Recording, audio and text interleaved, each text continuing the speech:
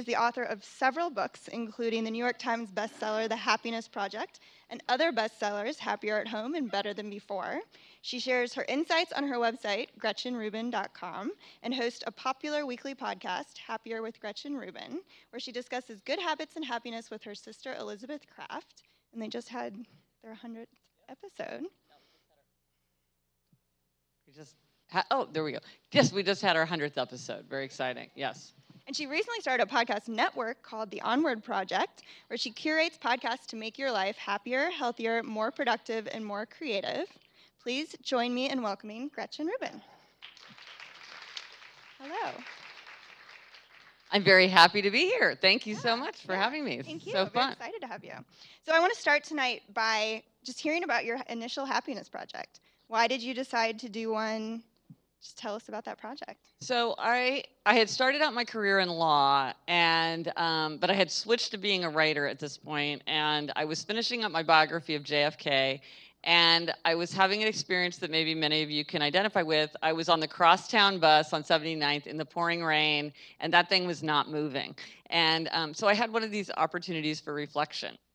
I was looking out the window and I thought, you know, well, what do I want from life anyway? And I thought, I want to be happy. But I realized I didn't spend any time thinking about whether I was happy or if I could be happier. And one of the thing, one of the fa- my favorite things about myself is I will get obsessed with something and do all this research, and it's really fun. Um, but so uh, the next day, I ran to the library, got a giant stack of books about happiness, and started uh, researching like can you make yourself happier if you did you know what does science say what does philosophy say what does popular culture say and it was just for me i was just going to do it for myself to have my own happiness project um, but pretty soon i realized it was such a rich fascinating subject that i started thinking well maybe this should be my next book and a lot of people actually really disagreed with the choice of the phrase happiness project because they thought it sounded like homework.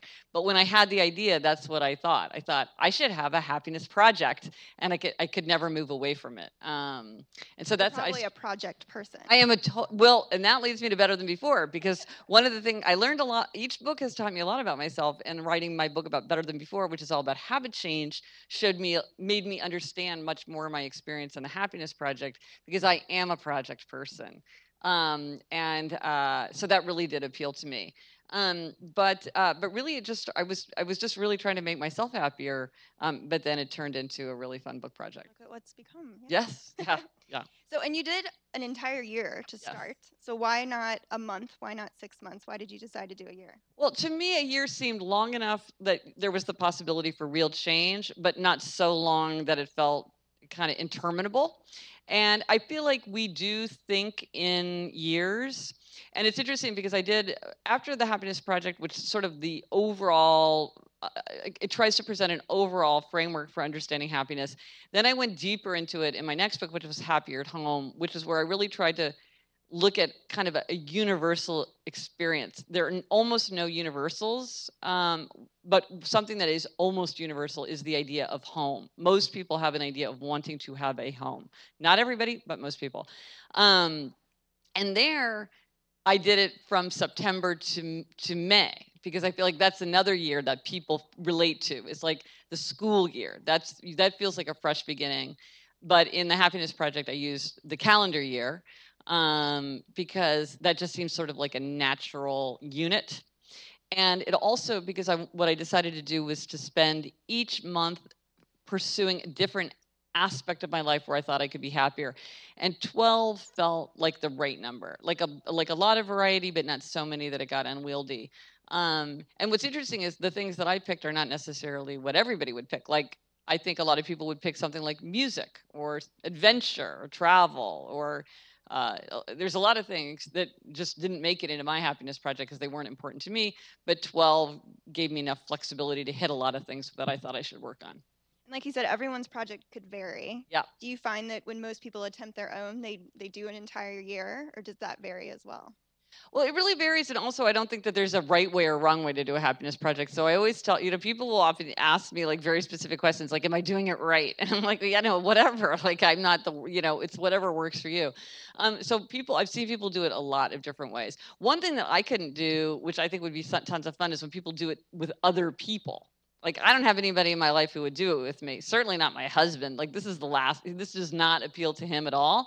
And if there's something that would not add to my happiness, it's me badgering my husband to like, you know, get on board with this. So I did it by myself, but I've heard from a lot of people who do it um, you know, with a sweetheart or with siblings or with friends or whatever, do it at work. Um, so there's a lot of different ways you can set it up. So you have a lot of great concepts about habits and happiness and things like that. And one of those is be Gretchen. Feel free to substitute your own name. Yeah. Exactly. you don't all have to be Gretchen. so this and this became your mantra Yeah. in the beginning and one of your 12 personal commandments. So what does it mean to be Gretchen? How can people use that in their own lives? Well, one of the things that I've found, and that the further I explore in these areas, the more it seems true to me, is that the only way we can build a happy, healthy, productive, creative life is on the foundation of our own nature. Um, you can't think, well, this is what I should do. You can't have somebody tell you what you ought to do. You can't be who you wish you were um, like I have to be Gretchen. And you think, well, what would be easier than knowing yourself because you just hang out with yourself all day long. But in fact, I think it's very hard to know yourself. Um, I find it very hard to know myself um, because you do. You're constantly thinking, well, what I, what do I wish I sh- I was? I were. Um, what do other people expect? Um, so one of the fun things that I've done is to try to develop a a series of questions that help you indirectly get a glimpse of yourself because it can be very hard to look right in the mirror and see what's there but sometimes through indirect questions like a really interesting question um, so a thing that a lot of adults don't know about themselves when they're trying to be gretchen or be emily or whatever is what do you do for fun not like fun for the whole family which may or may not even exist but like what do you do for fun if you really wanted to do something fun on saturday afternoon what would you do and a lot of people are like uh, clean my closet. I mean, they can't. They sort of can't think of it. So, a really good question to ask yourself is, what did you do for fun when you were 10 years old? Because what you did for fun when you were 10 years old is probably something that an adult version of it is something that you would enjoy now, whether it's doing arts and crafts or walking in the park with your dog or going for a bike ride or you know dancing around the living room to music is probably something you'd enjoy another really good question is whom do you envy we were talking about this because envy is such a painful um, emotion. A lot of times we don't want to admit to ourselves that we're feeling it, but it's actually a super illuminating emotion because if you envy somebody, they have something that you wish you had. And a friend of mine was saying, like, oh my gosh, I'm, and a lot of times you don't even admit it's envy. You say you're irritated or annoyed at somebody. So a friend of mine was like, oh, I'm so annoyed by this woman in my office. All she does is talk about all these fabulous trips she's going on. She's going here, she's going there, she goes away for the weekend, she goes away for one night. And I was like, I think you sound like you wish that were you. And she was like, mm, maybe I feel like I wish that I was going on more trips and I was having adventures. And then it turned out, well, she could do that. Like, it's just a matter of sort of realizing that there was this lack in her life. So the question, whom does she envy, um, was really helpful. And then somebody else was telling me recently that they looked at their Instagram for the last year and they were like, hmm, what have I been posting on Instagram? Because that's sort of an insight. Yeah, that's like a good subconscious. It is. It's very subconscious. Yeah. Like um, somebody said that they were looking at their friend's Instagram and it had a lot of images of elaborate milkshakes.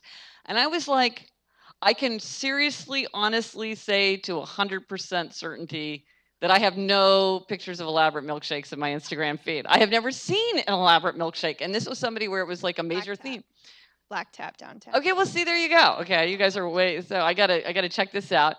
Um, but again, yeah, it's like it's interesting. Like, what are you keying into? So it's an indirect way. Like, if there's tons of pictures of nature, maybe you want to have more time in nature. You know, maybe you're attracted to that. It's you're trying to bring that element in in some way.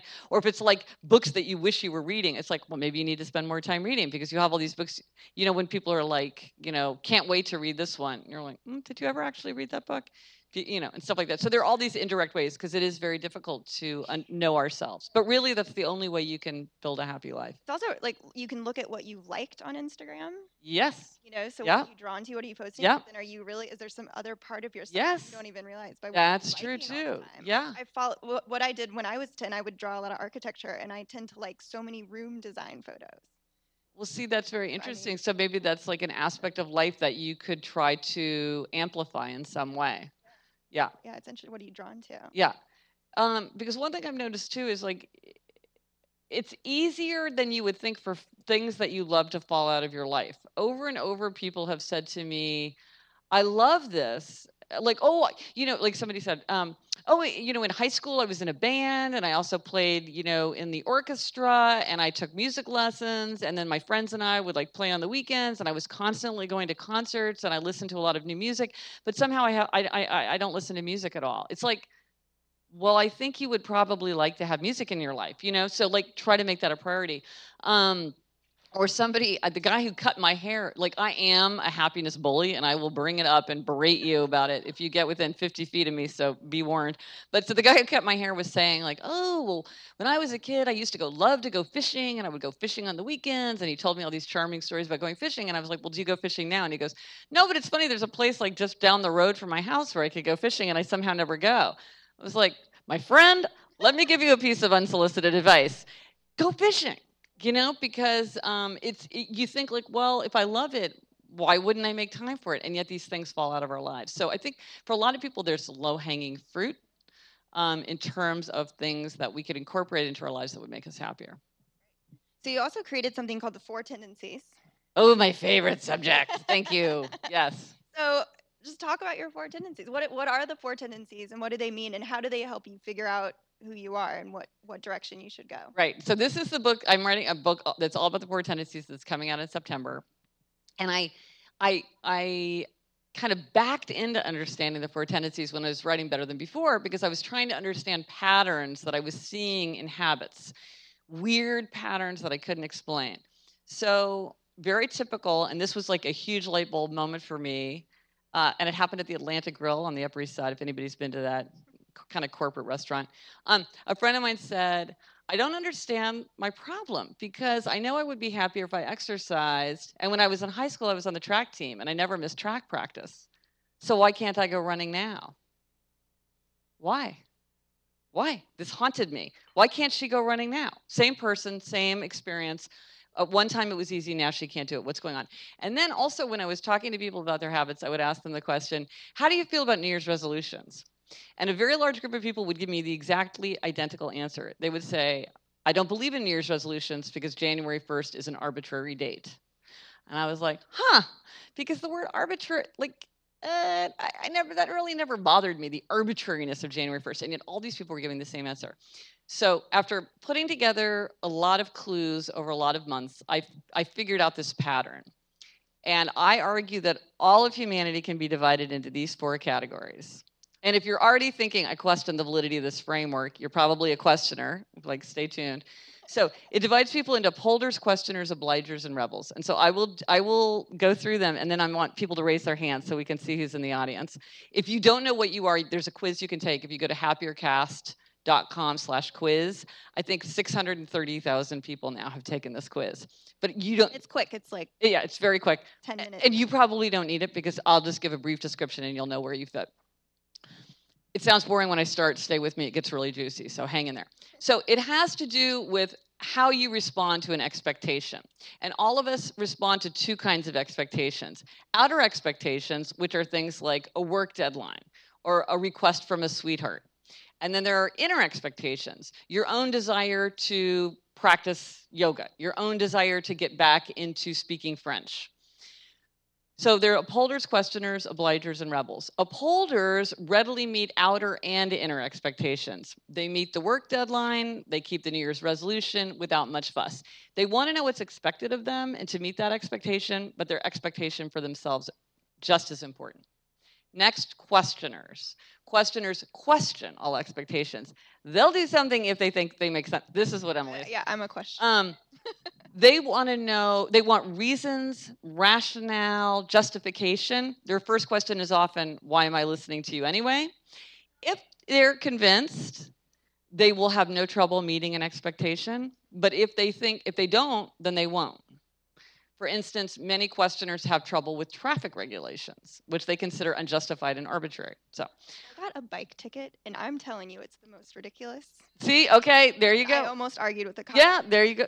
Yeah, right, Yes, because you're yeah. just like, it's arbitrary. Exactly. Um, no, yeah, somebody was like, uh, I got a ticket for parking, like opposite side of the street parking, and I refused to pay because I don't think it furthers the goal of vehicular safety. And I'm like, well, that's Good luck with that. Next, obligers. And so, obliger is my friend on the track team. Obligers readily meet outer expectations, but they struggle to meet inner expectations. So they will they will not miss the work deadline. Uh, they will meet the request from the friend or the sweetheart, but when it's just their own inner expectation, they struggle. So my friend, when she had a team and a coach waiting for her, no problem. But when it was she wanted to go running on her own, she struggled. And then finally, rebels. Rebels resist all expectations, outer and inner alike. They want to do what they want to do in their own way, in their own time. And if you ask or tell them to do something, they are very likely to resist. Um, they don't even want to tell themselves what to do. So typically, a rebel, uh, some rebels might want to do this, but very often a rebel would not do something like sign up for a yoga class at 10 o'clock on Saturday because they're like, I don't know what I'm going to want to do on Saturday. And the mere fact that it's on my calendar makes me not want to go. You're not the boss of me. You can't make me. Even I can't make me. Um, so, um, so okay. So those, uh, those that it is upholder, questioner, obliged, rebel. So I want to raise hands and see who we've got here. Okay. Upholders readily meet outer and inner expectation. My hand is up because I'm an upholder too. Okay. All right. Yeah, that's interesting. Um, well, here's something. Rebels are often at the very front or very back, so we'll see where they're sitting. Okay, questioners. Questioners readily meet outer, and I mean uh, resist outer, um, meet inner. Okay. Okay. Interesting. Spread out. Yeah. Um, obligers readily meet outer, struggle to meet inner. Okay. Okay. And finally, rebels. Rebels resist outer and inner alike. Okay. Okay. Entry. Yeah, yeah, yeah. Team rebel. Rebel pride. Rebel pride. Yeah.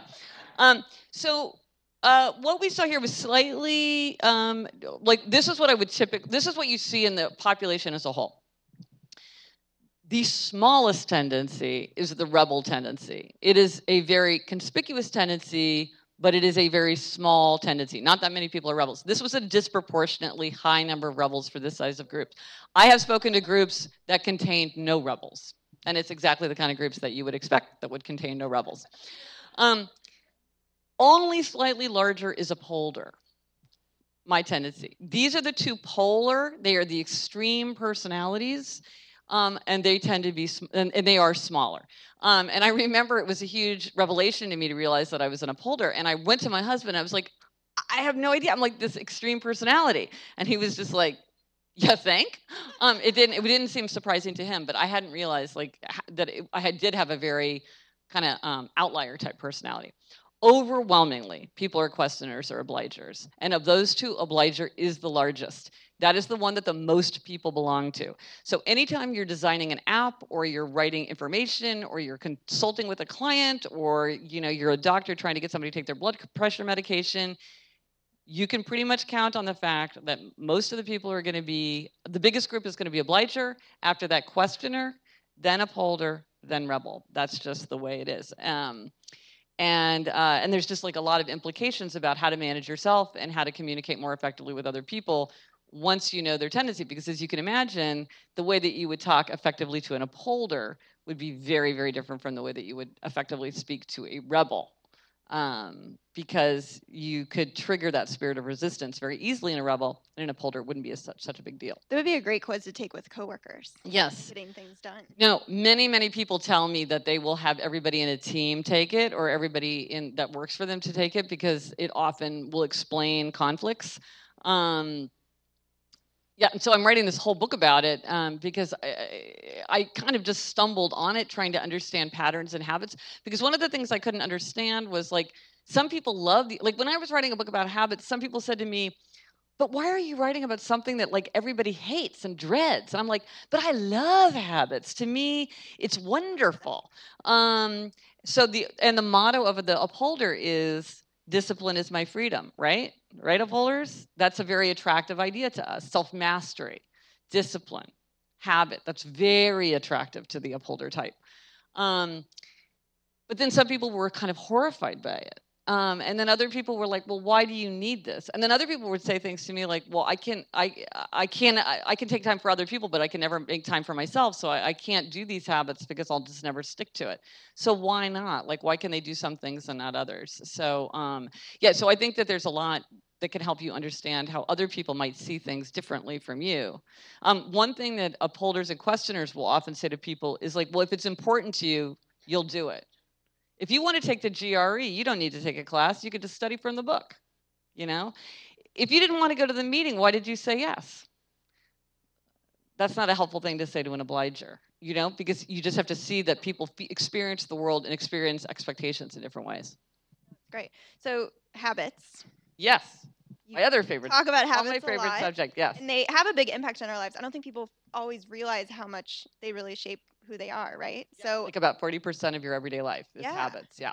So how I mean, yeah, how how how do habits affect our happiness? Right. Well, the research shows that about 40% of everyday life is shaped by habits. So if we have habits that work for us, we're much more likely to be happy, healthy, productive, and creative. And um, and the thing that's really freeing and energizing about habits is that they they put behavior on autopilot. So you don't have to use decisions or uh, or or um, self control to do things, um, because you're not you just do something automatically just like brushing your teeth. You don't have a big mental battle with yourself every time well i've been so good for so many days i think i get a day off or i'm going to be so good starting tomorrow i don't think i need to do it today or oh it's my birthday it's raining i hurt my foot um, you know you only live once life's too short to brush your teeth i should be using this time to skip around outside. I mean you don't do it you just brush your teeth and move on with your day and people often would say to me when I was saying I would writing a book about habits, they'd be like, "Well, that's really good because I want to go through my day making healthy choices." And I'd be like,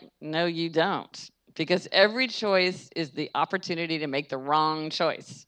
You want to choose once, try to make that behavior, that decision into a habit, and then stop choosing. Because if you just go to the gym every morning at 8:30, if you just um, you know, like I, I'm, I am one of these crazy low carb people that you read about, and uh, you would not believe what I do not eat. And um, but it's like it's not. It used to be that if I were in a place like, say, you know, you go to a, a conference room and they have a plate of cookies in the middle of the uh, uh, the table, the whole time, I part of my head is thinking, one, two, three. Now, later, does it count? All that stuff. And now it's like I don't eat that because I don't eat sugar. So it's just like it doesn't affect me because like I just made that choice years ago and now I don't eat it, so it doesn't bother me. I could sit with a plate of Toll House cookies right out of the oven and I'm like, you know, they smell good, but I don't eat sugar. So it's just my habit makes it very easy.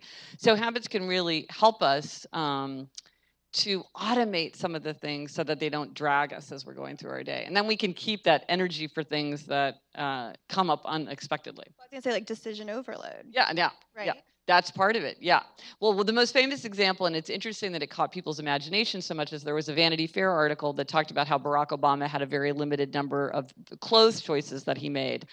Um, and that's something that some people do is to just say like I'm only going to wear like black pants and a white shirt if, as a woman say instead of having outfits um, to, so that you don't because every decision that you can eliminate frees your mind a little bit. You don't realize how every decision that you're making um, is just uh, whittling away at your self command. And by the way, this is why people get into mischief at night, right?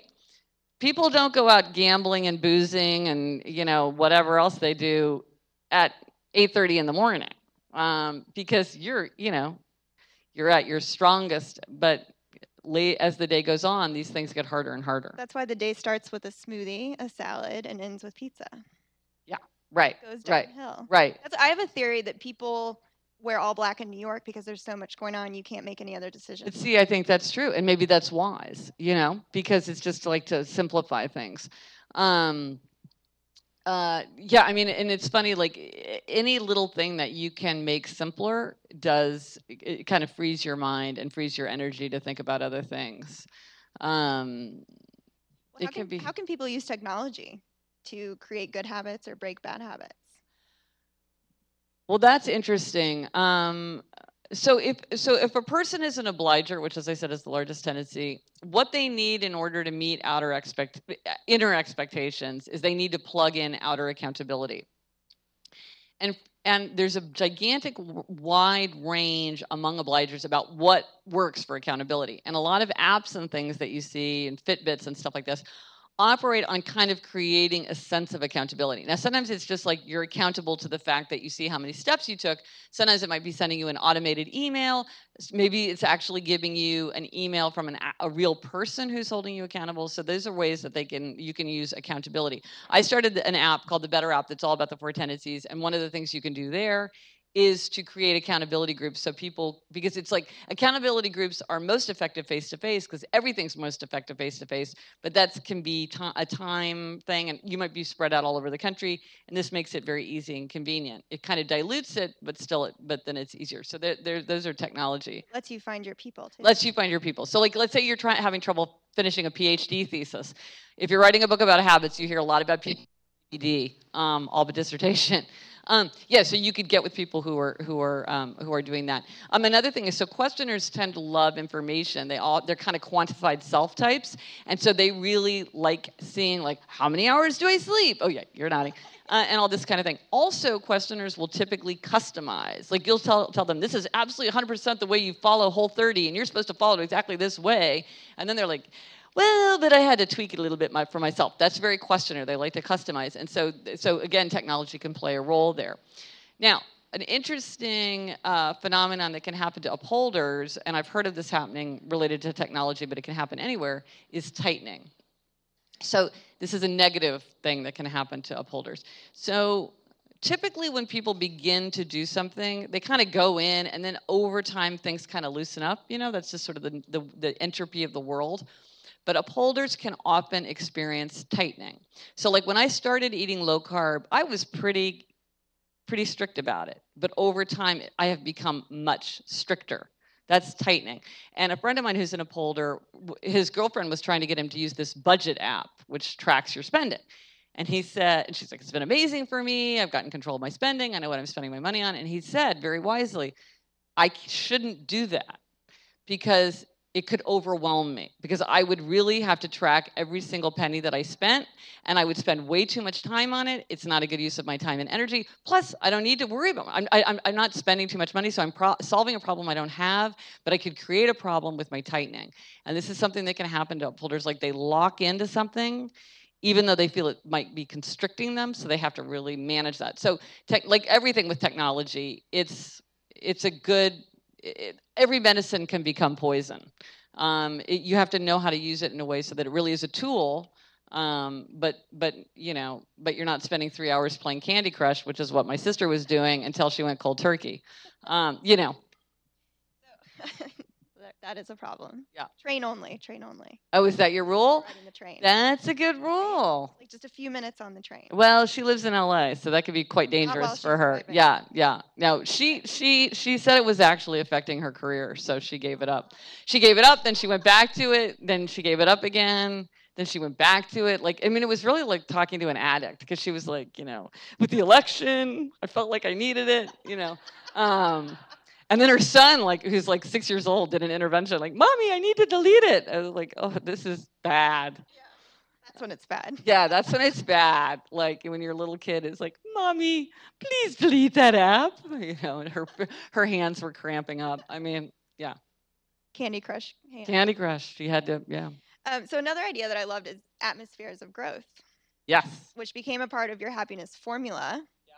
Do you want to share that, or do you want me to share it?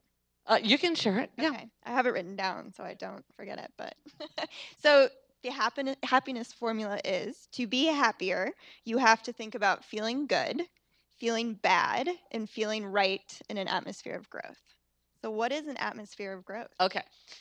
So we all get feeling good, more of what makes you feel good. We all get feeling bad. You want less of what makes you feel bad, angry, resentful, bored feeling right is like is your does your life reflect your values? So like maybe it's a pain to recycle but you really are dedicated to the idea of sustainability. So you're willing to do something that like maybe is a drag on your life because it may it helps you uh, live a life that reflects your values. The atmosphere of growth is good because it's something that's very much within our control. So even if you're in a very unhappy time, because the fact is sometimes we are in unhappy times, we're in difficult situations, um, we can turn to the atmosphere of growth as a way to kind of lift ourselves up. And the fact is, it's just part of human nature that we're we're happier when we feel like we're growing. And maybe you're growing because you're learning something or you're fixing something, or you're helping somebody else. Um, maybe you're volunteering at a nonprofit and helping them get their finances in order. It the sense of this growth um, or you're learning a new you're learning a new editing software or um, you're cleaning out your apartment like you're teaching your dog new tricks. Anything where you have that feeling of growth tends to give you a feeling of sort of energy and possibility uh, even if you're in, in difficult situations. So and also even if your life feels pretty good if you do not have the aspect of growth you start to feel stagnant you know, like I'm not going anywhere, nothing's there's this feeling we want we want a feeling of growth. And I think it's a very positive impulse um, because it can make you reach out to other people and sort of push yourself because you're hungry for that sense of growth. So if you feel like there's no area in your life where you have a sense of growth, it's a great thing to um, look for a way to plug it in. And it's not necessarily getting to the final destination. No. Right? It's the process Yes. of the growth. Yes, and the thing about growth is that it often does not make you happier in the short term because often growth is accompanied by feelings of frustration or anger or boredom or like you feel like an idiot because you can't figure out how to do something. Like I remember I started a blog like 8 years ago and I'm like the least techie person and I mean it was so frustrating for me. I couldn't do anything. I remember the first time I posted an image like I almost fell on the ground with it, which is like sheer jubilation like that I had pulled that off. Um, so it's not it, it, doesn't always make you feel good in the near term um, but it's something that over time it, it, it, it fuels that sense of growth. Um, but it can be hard sometimes because it, it, it, it can be uh, there, there, can be sometimes uh, unpleasant emotions that you have to get through. Something when i first heard this topic this concept i thought about we're we're in structured atmospheres of growth our entire lives. Ooh, yeah, right? like Until school. we're done with school. Yes. And then all of a sudden you're thrown in the world. Yes. And it's figure it out. And Yep. no one says you might want to keep learning. You might want to keep growing. Yes. You know, so I thought that was an interesting. Yeah, well, one of the things that's one of the things that's been really interesting to me, just kind of anecdata, is uh, my favorite data, um, is Duolingo. I have no impulse to speak another language. This is something that's quite foreign to me, um, uh, and uh, but many people are talking to me about Duolingo. I just started doing it. Okay, so a lot of people want to learn another language. This is surprising to me because to me, I'm like, that seems so hard. I, I They would make it so fun. okay, but see, Really, I, and I, what's funny, I'm learning Spanish, which I've yes, took for seven years, so go figure. yeah, But they make it a game. yeah, they they gamify gamify- it. They have the don't break They the the chain. accountability. Exactly. They have the don't break the chain that works very well. I mean, so I think, and but here's an interesting thing. A couple rebels have said to me, I was getting those reminder emails, and then I made, even though I wanted to learn Spanish, I was like, well, you can't tell me what to do, so I won't do the lesson until they, they had to turn off the settings because those reminders were actually igniting their spirit of resistance. So again, even something like this technology that seems so well designed, it might not be designed well for you. You have to say to yourself, is this working for me? Is this helping me? Or is this actually, or do I need to tinker with this? Because there's no, there's no, the idea that it should work. Well, if it doesn't work for you, it doesn't work for you. But, but to me, this is a symptom. Uh, this is a, a um, this is an illustration of the atmosphere of growth. Because here are all these people who have full time jobs. A lot of them, you know, have like busy, busy lives, and yet they want to learn a language in their free time. And what did we spend our whole high school career doing but complaining about the fact that we had to take a language? And so I think it, it's, a, it's a good way of like, and, and, and technology, back to technology, technology makes it easier. It feels more possible. It's not like you have to go to some classroom in Midtown or something to do it. Um, but people want to learn. They, they have this desire to learn. That's what with technology. You know, how else can people use technology? You know, we mentioned you started this Onward project. Yes, right. And these two podcasts—they're—they're they're both about learning. Yeah, yeah, yeah. In some way, right? Yeah, well, and, that, and I don't know if every how many people here regularly listen to podcasts. Okay, so, a good number, but not everybody. Well, so if you like if you like an atmosphere of growth, or you That's a just like to be training thing, by the entertained, way. yes, yeah, Podcasts are good training. yeah, they're great for the train, or like walking your dog, or doing your dishes, or anything where you can't read or or watch a video. It's really good. Um, my husband's time spent walking the dog has shot up dramatically since he discovered the Bill Simmons podcast, which he's absolutely obsessed with. Um, Bill Simmons is sports. yeah, sports guy. that don't know. Yeah, deep, deep sports. Um, I can't understand a word he's talking about, but he said he, he's good. he's really entertaining. But I'm like, I have no idea what he's talking about. Um, Um, yeah, and so the idea of the Onward Project was for people who like my podcast, Happier, which is all about how to be happier. Um, you know, to be be right there on the nose. Um, it was sort of like the same thing where if you like this, you like that. This is it's got the same vibe, and it's sort of like very practical ideas about how to make your life better. So one of them, and there's going to be a whole bunch of them. The first two have launched. One is Side Hustle School. This is definitely atmosphere of growth. And I think this is something that's much more common now where people have a day job and maybe they love their day job, but they have some kind of side passion that they're interested in exploring. Or they're not so enamored of their day job and they're looking to transition, but they don't want to just give up what they have cold turkey and jump both feet first into something new. They maybe want to get something going that then they can sort of gradually shift over. Um, so Side Hustle School is about all about every it posts every day, so you can listen to it every single day. Yeah. How long are they? Um, they're like five to seven minutes, so they're very short. So it's like one example of a side hustle. So the idea is, it's like you learn a lot from seeing this wide range and also prompts ideas. So like one person's selling something on Etsy, another person's giving consulting, somebody started a website that's all about uh, frequently asked questions related to cruises, makes a ton of money through advertisers, but it doesn't, once it's set up, it doesn't take that much money. Um, one guy did sort of the same thing for aquariums because it turned, you know, and so it's like it's going through why some side hustles work better than others, which are more lucrative. Like what are like what are just sort of like what are the examples? Um, and so and uh, and that's a, that seems to be something that a lot of people are focused on now or even like how to have you said you have an etsy site right like yeah i've had a lot of stuff. yeah i mean a lot of times it's like i just have something yeah, and it's yeah. like maybe it'll be big maybe it'll go away i don't know but it's just fun. it's a creative outlet too yeah. it's right? a cre- it's a creative the outlet. job itself can get very draining and not as creative yes. as you hope that it is yes. so having side yeah. projects and creative outlets are great well and, and under his definition a side hustle is something that generates income because he's like these are for people it's not just something fun that you do on the side. painting your yes it's something that's meant to make money. Now it might not make that much money some of these make a ton of money some don't make too much money but it's just the idea that it's it's the, the it's meant to make money.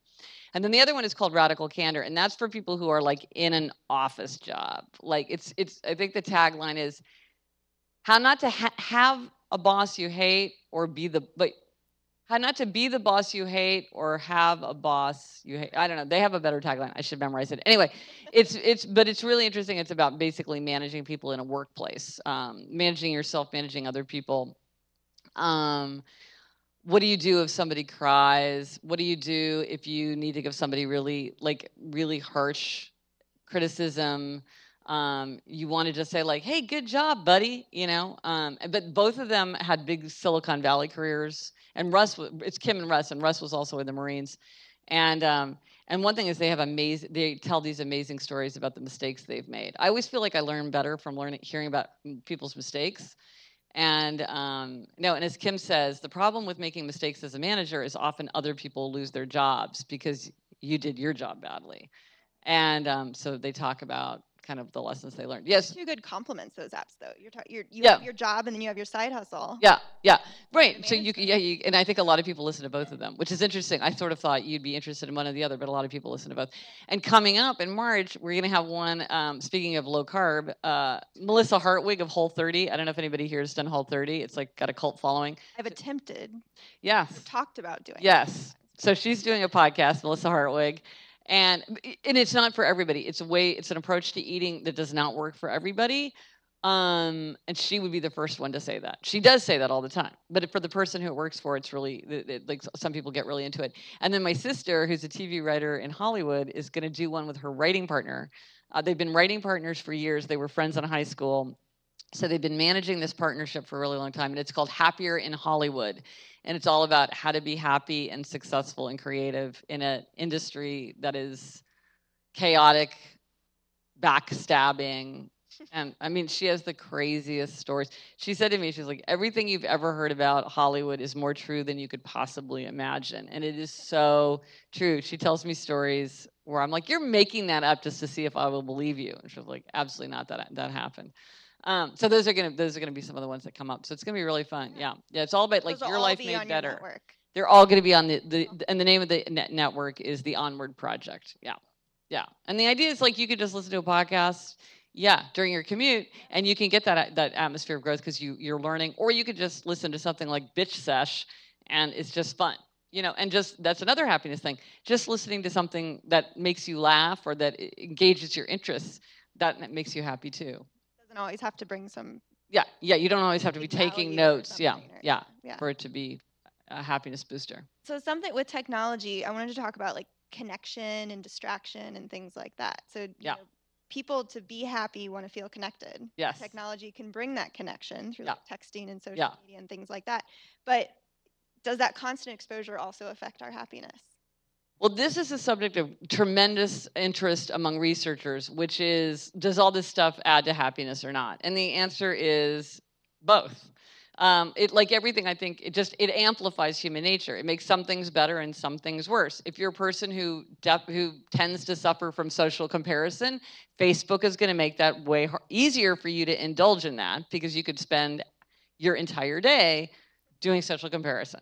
Um, and uh, but then for some people it's an amazing tool. I had a friend who was a uh, like had this job where she i mean how do you even what is what was her job? She would go to places of extreme like like that were in the like state department like watch list. Like do not go to this place. It's incre- incredibly dangerous and like we yeah you know you're on your own because we, we're too scared of it. She would go there and do humanitarian work. So she was moving constantly to all these places and she said it was and this was before, so this was years ago. And she said it was really hard to keep in touch with people because she was moving so much to all these places that were out of the way. And so she just fell out of touch. And it took so much effort just to know somebody's address. Whereas now all that stuff is effortless. So, so a lot of things um, are much, much easier. And, um, and one of the things that's definitely true in habits is that anything that's convenient, we're more, much more likely to do it. And every little bit of convenience matters. For instance, they did this hilarious study about tongs and salad bars. It turns out that if people use tongs on salad bars, they will take less food than if there are big spoons because it's just that much more work to use a tong than a spoon, and people cannot be bothered. The, the same thing, they did a thing with uh, like an ice cream, what do you call like those ice cream cases? If the lid when the lid was open, people took much more ice cream than if the lid when that when the lid was shut. Even if the lid was perfectly transparent, you could see right through it to the ice cream. So it wasn't like, oh, I can't see the ice cream, so I don't want it. It's like you could see the ice cream right there. But people couldn't be bothered to open the thing. So anyway, so we're incredibly we're incredibly sensitive to, to convenience, and so so this is one of the things that makes it very convenient. And along the same lines, if you are feeling overwhelmed by it, if you feel like you're having trouble turning it off, one of the things you can do is make it less convenient. So if you're always checking something on your phone, delete it from your phone and only check from your desktop, or vice versa. Or um, you you can use the the apps like Freedom that will shut down certain sites so that you can't access them. Um, if you have trouble with online shopping, uh, delete all your accounts and so that every time you shop you have to shop as a visitor because it is so such a nuisance to enter that information every time that you will often drop out um, And not as rewarding. yeah it's not as You're not going to get points or whatever. right right yes exactly right. okay but here's a weird thing because i love hearing about people's patterns many people were saying to me that a thing that they did for fun was that they would shop and they would fill their cart just for fun and sort of have fun picking things out. And then they would just abandon their cart because they had no intention of buying it. It was just like it's a- it was like a form of of just pi- the fun was picking it. And i thought that is so interesting. And then i recently read an article saying this is a huge thing that these these retail outlets are trying to figure out which is so many people drop out but i'm like they're deliberately dropping out it's not that your site is forcing them out it's that they never intended to purchase it's just a it's just sort of a Window digital window it's, it's shopping. digital window shopping. It's so interesting. So again, it's like understand how it's working for you. If you can do it and that's fun, okay, fine. If you find that you're buying too much, okay, figure out another way to.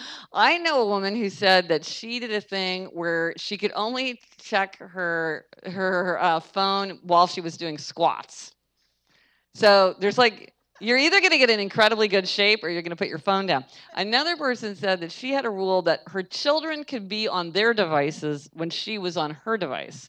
So her children would run around the house like holding out her iPad to her temptingly, being like, "Mommy, mommy, mommy, did you want to check your email?" Um, because then they could use their devices. So then she didn't. Um, so there's a lot. Once you recognize like this is not good for me. Like my sister with Candy Crush, like she was like, "I love it, but I can't manage it." So I need to shut it off. And here's another thing this is true of technology, it's also true of food. And it's true of strong temptation. So in my book about habits, I talk about the 21 habits we can use to make or break our habits. So one is the strategy of convenience and inconvenience. That's we talked about. Um, and this is the strategy of abstaining. In our culture, we have a we generally have a model of moderation that this is the right thing. You should be able to indulge a little bit, have a cheat day, have a little bit, play Candy Crush on the train. You know, like moderation is good. It's not good to be too strict. It's not good to say that certain, certain things are off limits. But what I've, in my observation, I'm definitely like this myself, and there are many, many people like me.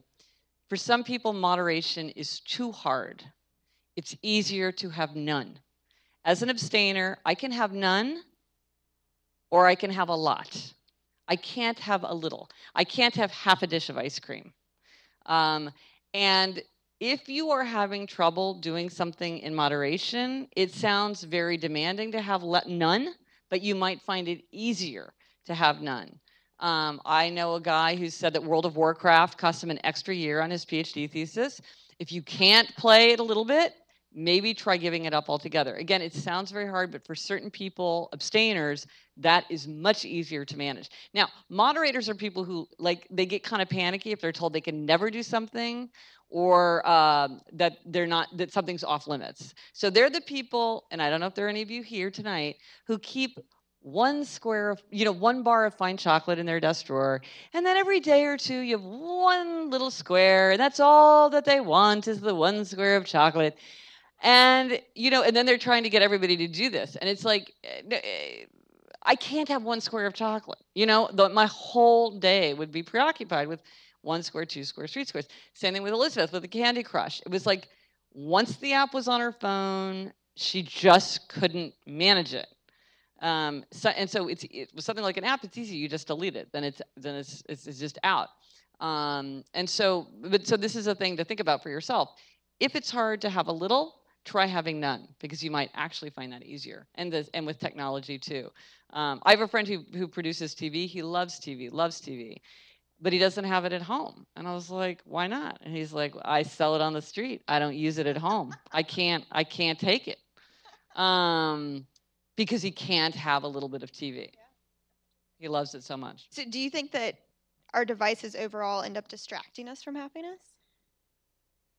I just think it's, it's sort of a, it, it just depends. It depends. In some ways, it's good. In some ways, it's not good. It depends on how you're using it, what you're using it for. I don't. I don't think. I. I. I think they're just a tool. I think each one of us has to take to really reflect on its value in our own life. Um, you know, and it's also like, well, if you're using it as a kind, you're using your Kindle on your iPad is like that's really reading a book. You know what I mean? So part of it is like, what are you even doing? What I love is when people pretend like they're not watching TV. I'm like, well, you can call it whatever you want, but you know what I mean when I say watching TV. Like the fact that it's on your phone. On your yeah, I know, right? Like if you're watching, you know, Game of Thrones, like let's just call that watching TV, no matter how you're beaming it into your eyeballs. Yeah, yeah, yeah. So bringing this to a local level. Yeah. We live in New York. Yes. It's crazy. Yes. What advice do you have for finding happiness in New York and living in New York? Well, we're here because we love it. So we should never forget that and how happy we are to be here and have public transportation and a CVS and a bank machine uh, on every corner. Now, whenever I go someplace, I'm like, I want to buy a Diet Coke. What? It's not like right here in front of me? I can't believe how inconvenient it is to be in Kansas City, Missouri, or whatever. Um, but I am haunted by a, um, a public service poster that I saw when I first moved to New York I, mean, I was here for the summer, so I wasn't. I hadn't even graduated from college, so it was years and years and years ago. It was a black and white picture, and it had a picture of Chinese food. you know, the container, the very that distinctive kind of container. And this was when people still watched VHS tapes, and so if you rented a VHS tape, it was sort of in that cloudy box. So it was two of these VHS boxes with the with the Chinese food container on the top, and all the poster said was, "If this is how you spend your time." Why are you living in New York? And I have never forgotten that. And um, part of it is it is a cornucopia for us. And I feel like the great challenge of living in New York City is can you be worthy of it? Can you take it in? It's like this giant fire hose of stuff, and it's so exciting. And then you're like, I haven't been to a museum in six months. You know, I mean, like it's there. We have to we have to tap into it. I feel. some- so, what do you do on a Saturday afternoon? What are some of your favorite New York activities? My favorite thing to do is to read Harry Potter in bed, but um, I try not to do that. Oh. Chinese Yeah, takeout. yeah, I know. That's the, that's the thing. Um, no, we uh, like m- my husband's very. I'm not very adventurous at all, and so my but my husband's good about like finding a a like a cool restaurant in a neighborhood that we've never been to, and so we'll go to a neighborhood that we've never been to, and that's really fun. Um, I had a great thing that I did with my daughter, which was uh, ev- once a week. I would pick her up from school, and we would pick pick a, spend a couple of hours like doing a New York adventure. So we would go to a museum that we'd never seen before, or go to some quirky uh, shop, or just visit something that um, was that was out of the way. Um, so those are those are some things. Um, I like I live right near the Met, and the great thing about getting those cards, first of all, you don't have to wait in line when you go in, and second of all, you can just go in and go in for like a half an hour because you don't feel like you have to use make good use of the time. So I love that. I love that you call it an adventure too, because I think you don't go anywhere in New York without it being an adventure. Yeah, no, that's true. What's gonna happen? No, we were just talking like even being in the bus versus being a pedestrian on the street, you see like a whole different vista. You're like, what's going on on the second floor? I mean, there's always something to discover. I was walking around my neighborhood and I'm like, I have never been on this side street before. How did I miss like it was like 87th between second and first. I'm like, I have lived in this neighborhood for a decade and somehow I've never walked this particular stretch. And it was like, uh, you know, or even five blocks from your house. Like, how many of us could accurately fill in the blank of every store in a one block, you know, walk to the subway. I bet you think you could? Probably Well, you're very visual. seventy percent maybe. You're very visual. Yeah. If something closes or like there's an Arby's opening near Yeah. me Oh, well, and it's got a flat. I mean, I'm that's I didn't know that. I think this is the first Arby's in the city, maybe, but it's very Yeah. exciting. But I do the same thing your husband does. I pick a neighborhood and Yeah. a restaurant to explore. If I haven't been somewhere for a long Yeah. time, I pick somewhere else to go and walk around. when I get in Stimulate. I get enchanted with these names in the subway, like uh, Far Rockaway. I really need to go to Far Rockaway. I love that name. My favorite, favorite name of a place, and bizarrely, Joseph Cornell, one of my favorite artists, lived there, is Utopia Parkway. I mean, I like want to buy a house on Utopia or Parkway just so I can like put that on my stationery. No, there's all these cool places. Yeah, or like go to the outer, go to the last Rockaway? stop. I've never been to Far the Rockaway. Rockaway there? Taco Okay, is really good. maybe we'll go this weekend. Yeah. All right. Well, not in the winter. It's not that far. No, it's you just take the train. Yeah. Yeah. It's all on the train. That's the thing. That's amazing. It's all on the train. Coney. Island. It's a, be- it's a beach. It's a beach with a taco place. and It's great. It's a fun getaway. It's New York City. New York City. We're lucky. We're lucky. So, for you personally, from the initial happiness project, what has stayed with you? What are you still doing today? Well, most of the things that I did, I did thinking that they would make me happier. And so, and I chose pretty well. So, most of the things I'm still doing. One of the things I'm not doing, I've tried a couple of times, is meditation. I'm kind of a failed meditator. I tried it twice. Um, and both times, like the second time I did it, I did it for like five months. So I gave it a good shot every day. Um, it did not work for me. Gratitude journal, hated the gratitude journal. Oh my gosh, it drove me nuts. And I've read subsequent research that it, gratitude journals work better when you do them like twice a week and not every day. Uh, but and I think there's other daily gratitude practices that work better. Um, but that really rubbed me the wrong way. Do you still do your one sentence journal? You know, I don't, and I wish that I did, and I don't because kind of my job is memorializing things. I and I, I kind of have a um, I don't know if anybody feels this way, but and maybe this is the tightening that can happen to upholder. I feel a real impulse to memorialize. I feel a lot of anxiety about memorializing. I take enormous amount of notes. Um, I'm constantly writing things down and and and and cataloging things, and it was becoming. I had other ways of capturing experience, and this was becoming like it was just becoming too much for me. Wasn't me. making you happy. It wasn't making me happy. Um, but in hindsight, now I'm like, oh, it really would be cool to have it. And now I'm talking like often when I go do book events or something, people will bring me their their one sentence journal because I, I like I did one that's like Gretchen Rubin's one sentence journal, but you could do it with anything. Um, and they'll show me like years and years and years, and it's so cool, and people get so much pleasure out of them. And now I think, oh, it would really be fun to have one. So I might think about doing it Your again. Happiness in that is now in others. Yeah, well, that's true. That's very true. That's very true. Um, but like any kind of memorialization, it's it's it's it's a commitment, but then so much you really do get a lot of joy from it. But I have so many ways to memorialize things that I let that slip.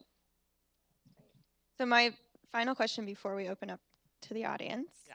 You talk about happiness hacks. Oh yeah. Just Yes. easy ways for people to make changes in their lives. So Yes. a few tips for everyone tonight. Uh, okay. What could you share? What are some of your favorites that people could try? Yeah. Well, in our podcast, we do one every week, and this is like the fav our fa- one of our favorite things. And okay, now I would not say this is the most significant thing that you could do for your happiness, but I get constantly get emails about this, so I will just throw it out there for your edification. I mentioned once, that, and it actually was a, a listener who suggested to me. Hard boiled egg. I have a Krups brand hard boiled egg maker, and this thing is like my favorite thing in my entire apartment. You make seven perfectly hard boiled eggs at a time, or fewer. You don't have to make seven. And this, and I give it to my father, who's also low carb. My father uses it constantly. It's like the greatest thing of all time. So that's just an example of like sometimes you just can find a funny little thing that just works for you. Or like I have a Uniqlo jacket. I'm constantly freezing Puffy, cold. puffy jacket. Yeah, but they're super super light. They you can pack them if you don't know how cold it's going to be. They have a vertical pocket, so if you put your phone in, it doesn't slide out the way it does if you have the side pockets. Um, and if you're really cold, it's it doesn't add any weight. It doesn't. You can put everything over it. It's perfect. Uh, those are like products, but um, other happiness hacks. Um, listen to podcasts at one and a half speed. You get through them faster. A lot of people talk about that. Um, how many people use that. I accidentally do it, yeah, but never intentionally. But I should try The scary thing is I speak so fast that sometimes I think that I, I, I will be listening to myself and I'm like, did I just turn this on to one and a half? I'm like, no, that's just me. I got to slow down. Um, uh, I mean, there's a there's a million. Oh, I heard a beautiful one. I thought this was great. So this is a woman because we talked on the podcast about how do you get over the pain of a breakup. And this woman wrote in, I don't know if you guys have seen Flying Wish Paper. I'm talking about products. I don't know why I'm so focused on products, but flying wish paper is like it looks like origami paper but it's very light and you you write a wish on it and then you kind of roll it up in a particular way and then you light it on fire and it flies into the air it's like you think it's not going to and then it bursts into the air and then it just sort of dissipates. It's very cinematic. And so she wrote all of her thoughts and regrets and conclusions about this relationship like with a glass of wine and music playing in her backyard and released them into the air. And i was like that is a cool idea i like Not in that. your apartment. Not in your don't do this in your apartment, but if you like if your parents live in New Jersey, you could go out there and do it. Um Central Park. yeah, yeah, yeah, yeah, yeah, yeah. I don't know if they would they might frown on that in Central Park. Yeah. Um but what are some more happiness hacks? We have one every week, so we, we've had a million, but um of course, uh, yeah. Um and I love would love to hear anybody's happiness hacks because sometimes it's just like a very small thing. Um ca you know, always put your keys away in the same place. Don't let your That's what so- I was gonna say. I put my keys. Yeah. I actually put them on the floor in front of my door. oh, there you go. So, you can't I open the it, so door. I, yeah, it hits if I Oh. think I'm gonna forget my keys. So we got a happiness hack from an airplane pilot, and she said if you are using the safe at a hotel, put one of your shoes in the safe so that you can't. You have to open the safe Oh, yeah, to put your shoe on Yeah. before you leave. Um, never let yourself fall into empty. Don't let your car get out of gas. Don't let yourself get too hungry. Don't let your battery die in your phone. Always keep cash in the house. You know, have an emergency roll of toilet paper. Like, don't let yourself fall into empty because that's when it's always at the worst possible time, as we all know, that you go empty. Um, yeah, so there's a million kind of little tricks. That they, make your bed. Again, not the most significant thing, but of everything that I've talked about in all my years of happiness research, the thing that people most often mention to me is something that has made them happier is the decision to make their bed. Go figure. It's some little thing, a little action, a, little bit of order every day makes people happier. Feeling put together. I, yeah, it's just I think, and I, you know, I also I think it's that, but I also think there's something deeper, which is I think that I really believe that people do have kind of symbolic imaginations running at the same time. And I think your bed is kind of a symbol of yourself, the way your kitchen table is a symbol of yourself and your desk is a symbol of yourself in a way that, like, an armchair is not. And there's something about having your bed put in order as you leave for the day and coming back to your uh, bedroom and seeing your bed nicely made. I think it makes people feel more in command of themselves or like, you know, that they can have um, an orderly kind of experience. And so it's, it's satisfying in, in a kind of strangely uh, resonant way. Thank you, Gretchen. Oh, thank you. It's So fun to talk to everybody.